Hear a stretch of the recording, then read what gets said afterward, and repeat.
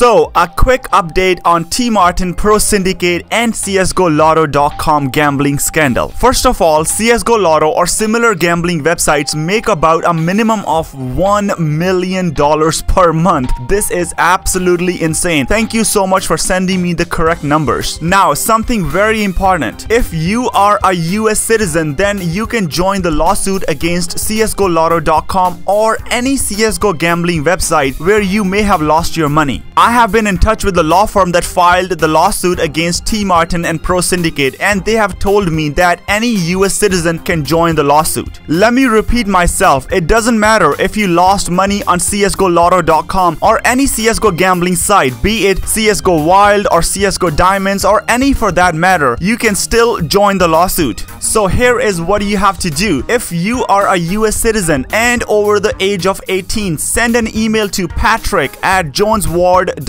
with screenshots and any other info and also explain how much and on which CSGO gambling site you lost the money. You can also choose to mention that Honor the Call sent you. Now, if you are under the age of 18, then please have your parents or a guardian send them an email. If you have any questions on this, feel free to leave a comment or find me on Twitter at Honor the Call with underscores. If you don't know yet, a second lawsuit was filed against Valve, which was then updated yesterday to include Trevor Martin and Thomas Cassell and their site csgolotto.com. This was filed in Florida by a mom on behalf of her son. Unfortunately, this lawsuit is not open to anyone outside the US. Whenever that changes, I will update you right away. I'm also hearing reports that CSGOLotto.com is not functioning to its normal capacity. Here, these images were posted by Keemstar yesterday on his Twitter, where you can clearly see players who haven't apparently learned a lesson yet are losing their skins, pants, and whatnot. Many of you have tweeted at me saying Gold Glove TV and KYR Speedy have also updated their descriptions to include sponsored by CSGOLotto.com. I'm investigating this further and I will have more updates for you as they become available. Surprisingly, we haven't heard any apology from ProSyndicate and looks like there won't be any because the law firm that has taken over their case has sent out this message. Given that there is litigation pending, no further public comments will be given on this matter. My comments will be contained in legal arguments to the court at the appropriate time. I have also been been told by someone from the UK that ProSyndicate is under investigation by British Gambling Commission. Let me know if you have any more information on this. Josh OG, the popular Twitch streamer who was listed as the secretary of CSGOLotto.com has come forward with a much better apology than Tmartn or ProSyndicate. He basically tells the whole story and apologizes at the end. If you want to read the full apology, I will leave the link in the description. That's all for now. Thank you so much for your support. Remember, always honor the call.